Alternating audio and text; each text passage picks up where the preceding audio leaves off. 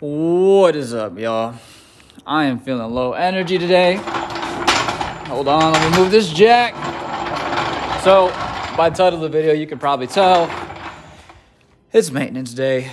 I mean, we'll see what I do, but for now, the ribbing is starting to show here because the car is little by little getting lower because the springs are giving out. They're getting too soft, so I'm rubbing to the point where the tire's are gonna pop and can't have that. So I'm gonna raise up the rear and hopefully it will stay there. I'm still gonna have to worry about it hitting bumps and stuff like that because we're close, man. You can see I'm gonna have to order new tires. I may or may not order the 19s for the front. I don't know yet. So the, the, the catch with the 19s in the front is that right now we're sitting here, but with 19s in the front, it'll be like another half an inch up this way as well as it'll be an inch up. So basically what I'm getting at is that this tire will then be closer to this. So the fitment will be better, but then that means it's gonna be rubbing in the front as well. I will get rid of my curb rash that I got from uh, driving on a curb. That's that's another story. If you follow me on Instagram, you saw that. But it also looks like I'm starting to rub here too from the coilover getting soft in the front. It's not the damper, it's the shock. The shock, these springs are known for not holding up their weight. Like they last, excuse me, they don't last. They they work. They don't last long. They tend to get soft, really soft, and um, you know the car gets lower, and then it doesn't shoot back up as much as it should. Hence why we're having that issue in the rear. I'm actually shocked at how bad it is in the rear. I didn't think it was gonna get this bad. I put my brother in the car he's he's got some weight to him. So uh, it killed the tire that the passenger side is on.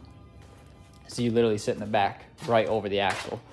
And uh, yeah, I pretty much killed the tire. So it's drivable. Is it safe? No, technically it's not. I really shouldn't be driving on it, but it's not the end of the world. I'm not worried about it. I have plenty of tread, so I'm thinking I'm gonna order those other ones, and then when those other ones arrive, I'll probably put the 18 nine and a half on the back. I'll get those mounted first, get the 18 nine and a half, put it on the back. But before I send these off to get mounted with the new tires, I will probably do a crazy burnout or something with these ones because these ones have a lot of tread. So I'm thinking if they survive, we'll ship them and, you know, send a burnout like crazy. And maybe I'll try to get some, uh, some slides in or something in them. But I don't know how much I trust them to be doing slides and hitting bumps and stuff like that. The burnout at least will be stationary and it won't be anything crazy. It won't smack the rim on the ground or something. If it pops, it pops, but it won't kill the rim. So that's where I'm at. I'm about to pick up the rear of the car, and I'm gonna raise the coil over. So this is also bringing me into my next thing. I gotta do the coil review, and I gotta order springs. I know. The reason that I'm giving you that face is because we're talking about 230 for tires, another 220 at least for tires in the front. We're at 450 plus another 460 for the tire for the rims up front. So that's we're looking at 910.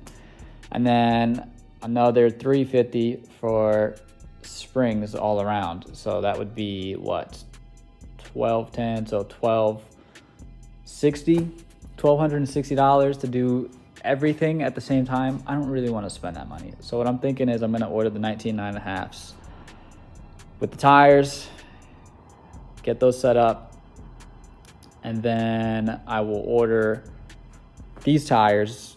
I, I really, I, I, might just order it all at once because I need to get tires for this just in case these do go. Granted, if I have the 19 by 9 and a halfs, I can toss the 19 by 9 and a halfs in the rear for the time being and keep the 18s up front because 18s are fine. So yeah, that's what I'll do. I'll order the 19 nine and a half with the tires, get those mounted, and then from there, I'll order those tires after. I just don't want to spend, what is it, $600, $800 at once. I don't want to spend that. It's 910, but I don't want to spend $910 at once. So that's not even including shipping. So yeah, that's where I'm at. I'm going to raise the rear, try to get these sorted. I'm going to order my 19s for the front. And then if I need to, I'll use them for the back for the time being while I order those tires. The fitment won't be right, but I really don't care. This is for purpose of me being able to drive the car. The reason that these are rubbing, I really just need to wide body it. I'm gonna try rolling these more. They seem like they actually got pulled from them getting hot and, and going against the, the tire and going lower. So they definitely have more clearance than they did. And it looks amazing. I know the fitment looks great, obviously, because it doesn't get more tucked than it touching. Uh, it's obviously not tucking because I have beyond the fender, which that's another thing. Yo, I've been I either get like people either love this car, like love it, or they absolutely hate it. That's something else I want to talk about, the exhaust. So the other day I was driving at night, you know, just having fun, driving the car, and I drove over a dirt road. This car is high enough. It has enough clearance to go over a dirt road. But the, the exhaust is touching for sure when it's on the on the dirt road, and that was the issue. Yeah, look at this. You can actually see the ribbing better here now. Oh, that's no good. Yeah, I gotta order. I'm just gonna have to order all, all of them. Dang it, I don't want to do all that. It's so much money. All right, sorry, I'm just I'm getting sidetracked. But anyways, exhaust was rubbing on the ground, so I might have messed it up a little bit. It does. It, it, it sounds the same but I can't tell if it sounds loud or not. Maybe I'm just nitpicking, but it sounds like there's more drone around the drone areas. As far as driving, dailying, it sounds the same. Uh, you know, I'll be, this has enough low end power where it will be able to drive on the lower RPMs and it's not, it's not really loud at all. But then you rev it if you're trying to get into power and it starts to get a little bit louder. It's really not loud relatively compared to what it was before, open headers and stuff like that. But I mean, that's a given. So it, it's it now sounds like a sports car from it sounds similar to a sports car from the factory like what a new Supra would sound like. It's a little bit a little bit louder than that all around, but it's very similar to that in the terms where it, how loud it is when it's popping and stuff like that. So I want to check out the exhaust while I pick this rear end up, and then uh, I'll get these wheels off and start adjusting these coilovers. But these tires are definitely ready to get some new tires, not because of the tread, but because of the uh, sidewall, unfortunately.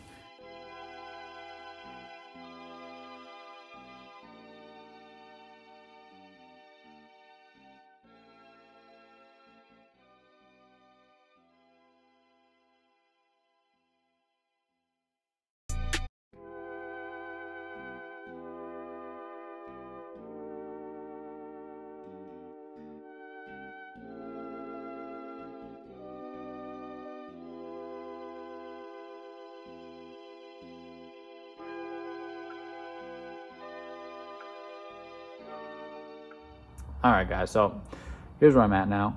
Uh, I took the wheel on and everything. You guys just saw me do that. I did on the opposite side. I just showing this side now because I already cracked them loose. And as you can see, these are crusty, right? But the anti-seize did its job. I literally spun these by hand, which is amazing. So now I'm gonna adjust the other side and then I'm gonna put this back on the ground with the wheels maybe. Maybe I jack up the thing, I don't know yet. And see what the clearance is. I would like to roll these more, but I just don't feel like it today. I'm not gonna lie to you. It's a lot of work. It's a lot of maintenance. Uh, the wheel, I mean, the car lowering and falling on the wheel definitely widened these a little bit and rolled them a little more. But yeah, so let me get into that. And the other thing that I noticed with this one, I haven't cracked this one loose yet, but this could just be speculation, but I feel like I feel like this coilover is doing a little bit of this, which would mean that the coilover is starting to fail. But that would be me abusing it. That has nothing to do with the coilover itself. But honestly, it looks kind of straight right now. I don't know. Maybe I'm seeing things, but I mean, we'll see in the future if the coilover survives or not. Also, if you guys notice, my brake lines are starting to crust up, man. I was actually disappointed in this because I bought these copper coated ones and usually they're supposed to, technically it's supposed to green. This is fine. I'll still get two or three years out of them, but I would have liked to not have to deal with this. So that's another issue that I'm going to have to deal with somewhere along the line. And I think this might be that noise that I'm hearing because I keep hearing this while I'm driving and it's rubbing and I couldn't figure out what it was. And I think that's it. So from this Yep, I think that's it. So I gotta bolt that down.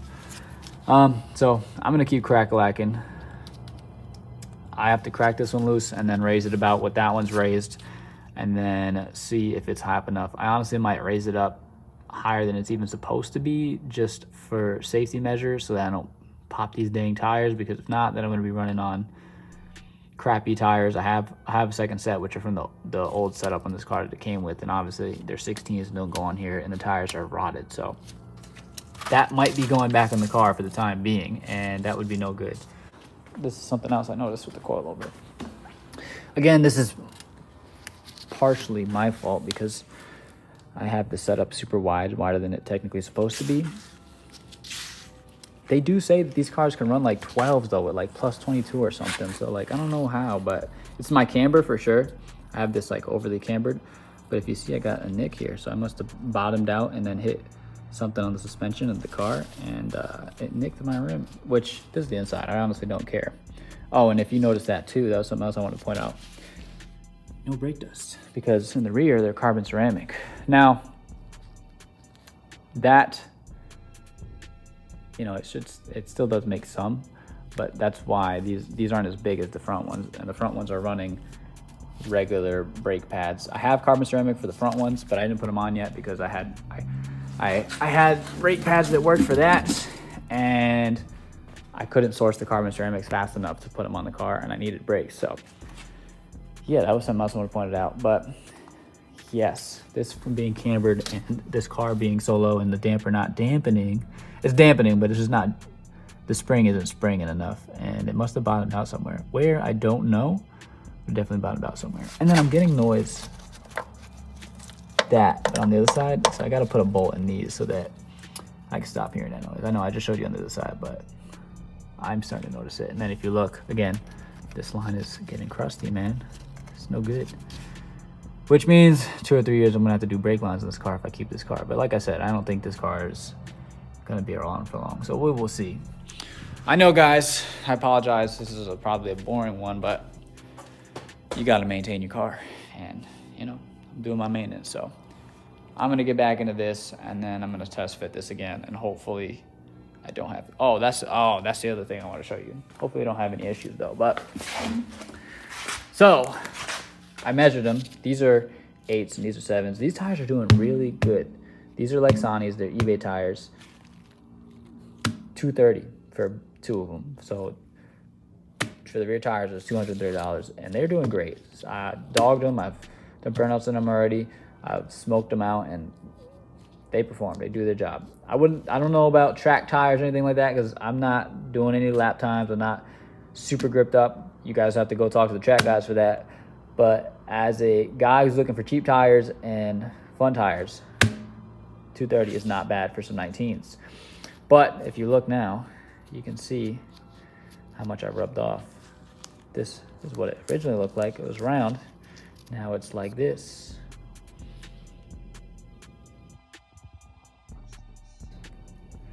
It's all bubbled out and stuff like that. That's how it used to look.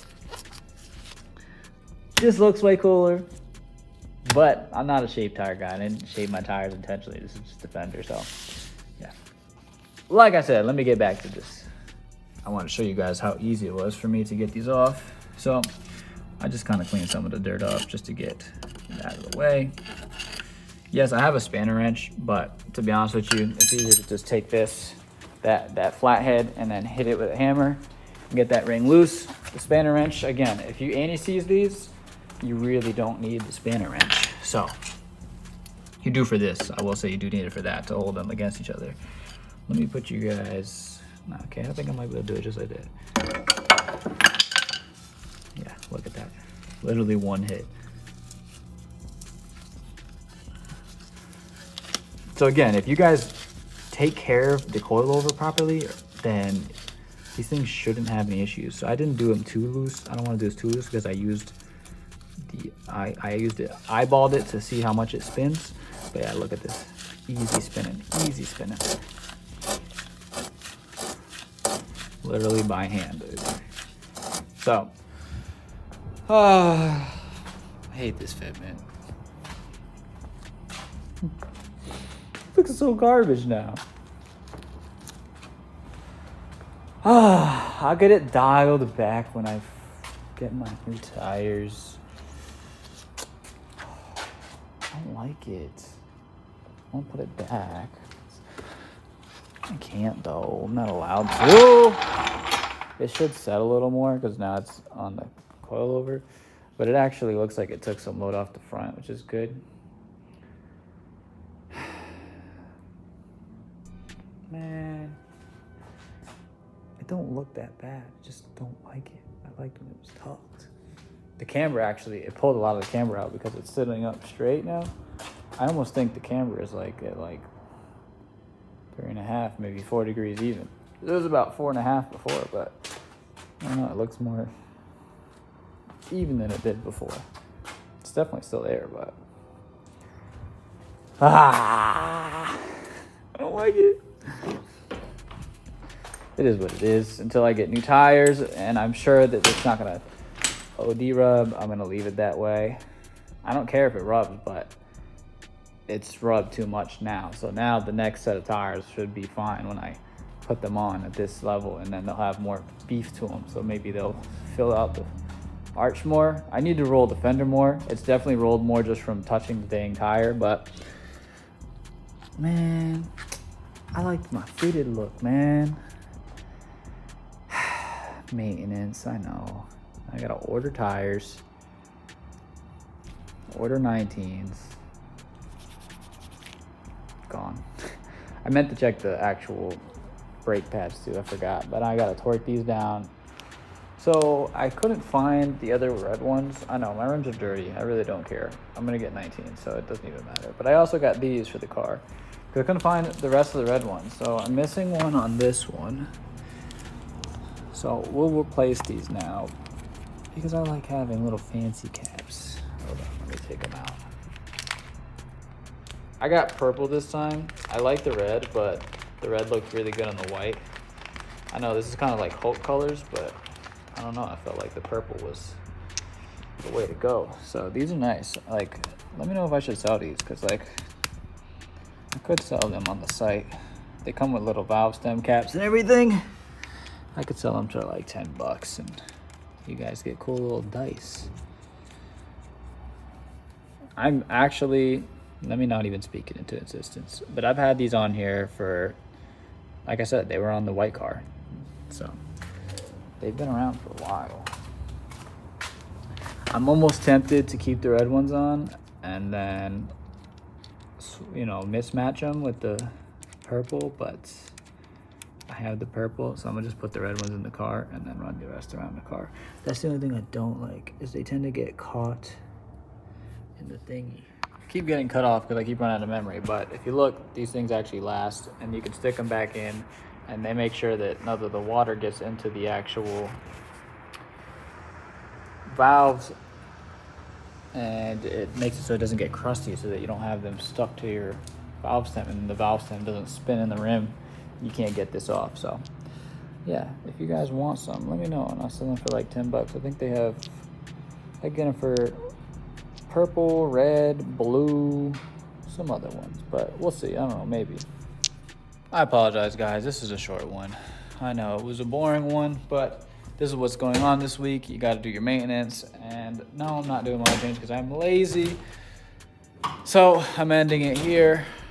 This car does need an oil change. It needs a few other things, but now the rear is raised. I know it's not as satisfying, but it's still decent fitment. And, you know, it is what it is.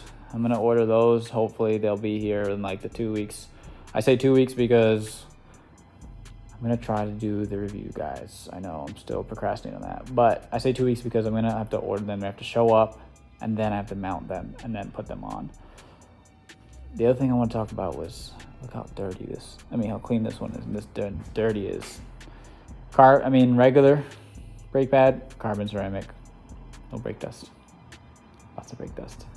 These rims are literally the same rims, and somehow they look like that and these look like that. But anyways, I'm out of here. Hope you guys enjoyed. I'm gonna get you guys not a cold start, but a cold start because it's colder than it was.